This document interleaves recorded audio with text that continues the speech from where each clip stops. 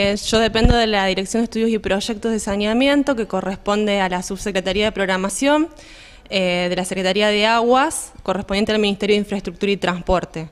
Eh, básicamente en la Dirección de Estudios y Proyectos intentamos sanear todo lo que sea cuestiones inherentes a proyectos y mantenimientos de sistemas, de redes de agua, cloaca y tratamiento de ambos sistemas, y bueno, eh, intentamos eh, mantener, digamos, un contacto asiduo con las comunas o las cooperativas, los municipios que necesitan, digamos, solventar alguna necesidad.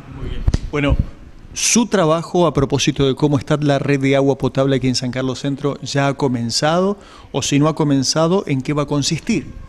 Eh, sí, sí, sin duda que ya comenzó desde el año pasado que eh, eh, la comuna mantiene una reunión, digamos, con el ministerio, la cooperativa también participa de ella, manifestando las necesidades que tienen. Básicamente han encontrado un alto nivel de pérdidas en la red domiciliaria, como bien dijiste vos, es una red antigua, eh, las redes en general y todos los servicios de saneamiento se proyectan eh, básicamente a 20 años y sin duda que es una red que ha, digamos, sobrepasado su vida útil. Eh, si bien tiene, nos consta que tiene un mantenimiento, ya digamos la edad misma de los materiales y, el gran número de conexiones y la expansión que tuvo San Carlos sin duda que hace que digamos, eh, la necesidad de poder resolver ahora este problema que tenemos. Entonces, desde el año pasado se están manteniendo estas reuniones, ya estamos trabajando técnicamente, se hicieron todas las etapas previas, todos los relevamientos, recopilaciones de datos, eh, con una participación activa de ambas partes, de la cooperativa también. Eh, ¿Los relevamientos en qué consisten? ¿Son trabajos en campo? la mayoría del trabajo de campo lo hizo la cooperativa, el resto es información que fuimos recopilando de las bases de datos que tiene la cooperativa y la comuna y que tiene también la provincia. Consisten básicamente en la población, saber la cantidad de población, eh, la cantidad de conexiones, eh, las dotaciones de consumo que tienen, las fluctuaciones de ella y eh, todo lo que es sistema de captación, la reserva y demás, para poder hacer un estudio integral de todo el sistema, cómo está funcionando. ¿En cuánto tiempo eh, eh, tendríamos los resultados de saber cómo está nuestra red de agua, de agua potable? Bueno, eh, previo a tener, poder saber, digamos, el tiempo en tener los resultados, tenemos que iniciar con la etapa que estamos actualmente, que es con el inicio de las pruebas sobre la red. el, punto principal y, y álgido que tenemos es solucionar el tema de las pérdidas.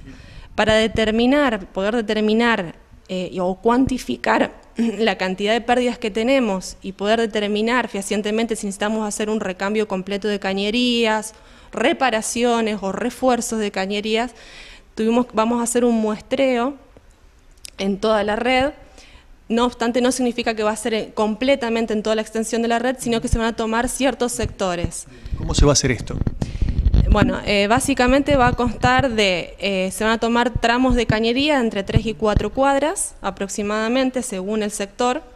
Se van a cerrar los grifos de entrada de conexión eh, a, esos, a esa, ese tramo y con un sistema bastante rudimentario, que es con una bombita de presión, más un manómetro y algún otro artilugio mecánico, vamos a determinar, insuflándole presión a esa cañería, las pérdidas que tenemos a través de un manómetro. Eh, con ese muestreo que vamos a hacer, que van a ser en algunos lugares del, del ejido, digamos, de la traza de la red, vamos a poder cuantificar y determinar fehacientemente si el porcentaje es muy alto y la cantidad y, la magnitud de las pérdidas son muy altas, si se va a necesitar una red completamente nueva o bien va a ser solamente recambio de los tramos necesarios. ¿Cuál es el material con el que está construida la red hoy? ¿Qué, tipo de cañería? ¿De qué material se hacían en la década del 70 y qué materiales vienen hoy para hacer una red nueva? Bueno, eh, básicamente acá hay una mezcla de materiales porque hubo algunas extensiones, eh, la cooperativa hizo algunos refuerzos y algunos recambios, hay bastante PVC pero es de una clase de cañería eh, inferior o que tiene, digamos, en aquella época era lo, que mejor, había, sí, se puede decir, eh, de una clase de material que hoy es obsoleta.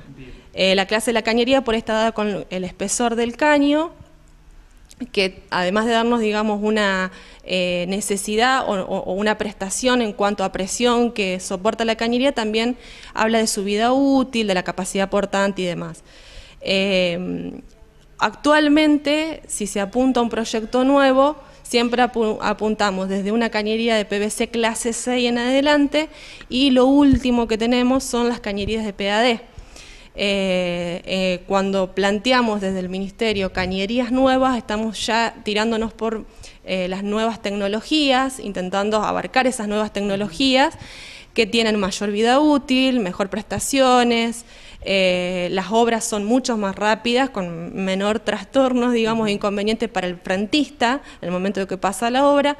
Así que bueno, el PAD sería lo último que tenemos en tecnología acá en, este, en esta área. Digamos. ¿Superior al PVC? Sin duda, sí, sin duda. Sí, sí. ¿Se fabrica acá en la Argentina?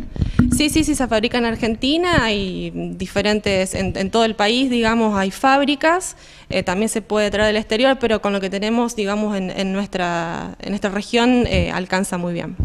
Sabemos que no es su área, porque su área es técnica netamente, pero el, ministerio del cual usted depende suele este, hacerse cargo de este tipo de obras, hacerse cargo desde lo económico, me refiero, ¿es, es factible que pueda absorberlo la provincia? Eh, sí, el ministerio nuestro eh, puede que los financie, sin duda no, es nuestra área, o sea, técnicamente vamos a hacer un informe y vamos a, dar una conclusión arribando a la cual es la necesidad real. Eh, puede que el ministerio tenga los fondos y pueda redireccionarlos para hacer, digamos, sanear esta necesidad según la magnitud también, tenemos que poder cuantificarla económicamente. Y si no, también a través del ministerio se puede gestionar eh, en Nación algún tipo de, digamos, de crédito o algún tipo de, fondos para poder sanear las obras, o bien puede ser una participación tanto de Nación como de provincia, como últimamente se está estilando. Sí. A priori, en estos primeros tiempos de, trabajo suyo, lo que uno interpreta es que este, el relevamiento hasta el momento realizado indica que la cañería no está en las mejores condiciones, ni mucho menos. Eh, según las la bases de datos que tenemos de la cooperativa y de la comuna, no estaría, eh, digamos, en buenas condiciones por la gran cantidad de pérdidas que han encontrado y la magnitud de ellas. Eh, hay pérdidas que son, pueden ser locales, que son comunes en las cañerías, que son en conexiones y demás, pero hay otras pérdidas que son significativas, significativas por los caudales y también por los, daños y los problemas que pueden ocasionar. Eh, que son en las cañerías troncales. De esas son las que nos estamos ocupando y que sin duda, si se logra hacer un recambio de cañería o un refuerzo de los tramos que sean necesarios, van a sanear las que son más puntuales también. ¿Quiere decir entonces que cuando comiencen los estudios ustedes van a avisar en qué zona se corta el agua? Exactamente, con días eh, de antelación. Eh, no sé si entre la cooperativa y la comuna ellos van a resolver bien, eh, van a comunicar a los frentistas, eh, tal vez sean con 48 horas de antelación, entre qué horario y qué horario van a tener cortado el servicio. No obstante, le pedimos a la, a la comunidad que por favor bueno, colaboren con esta situación, con las pruebas. es, es, algo muy beneficioso para, para todos, sin duda. Eh, ¿Colaboran de qué manera, por ejemplo? ¿No utilizando agua en ese tiempo? No, no, no, que tengan paciencia el día que se hace el corte, que va a ser, no va a ser a toda la, ciudad, sin duda que no, va a ser solamente a esos frentistas localmente, eh, por el día y bueno, si se encuentra alguna falla o algo así, se extenderá, pero va a ser dentro del mismo día y se va a solucionar cualquier problema que se suscite. Le, transmito dos preguntas que están este, de alguna manera relacionadas con este tema de la cañería. Eh, cuando se habla de que vamos a tener en, pocos años, eh, mucho, mucho antes tal vez de lo previsto, eh, el acueducto que pase por San Carlos, en algún momento se habló acerca de la presión de agua con la que va a llegar precisamente ese acueducto aquí en la ciudad. ¿Eso puede ser perjudicial para eh, eh, las cañerías, digo, teniendo en cuenta el estado en el que están las mismas, las podrá soportar?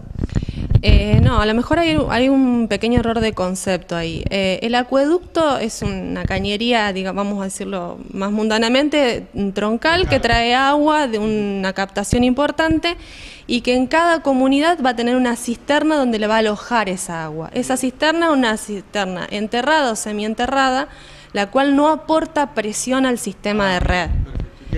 Sin duda, pero la Ah, Exactamente.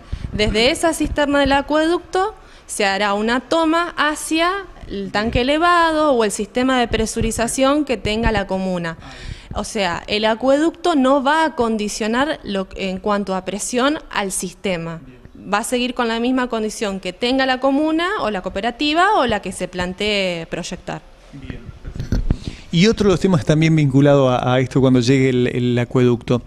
Tenemos un problema en toda esta enorme región de napas altas. Este, se estima que en, plena época estival se consumen en San Carlos Centro entre 5 y 6 millones de litros por día aproximadamente.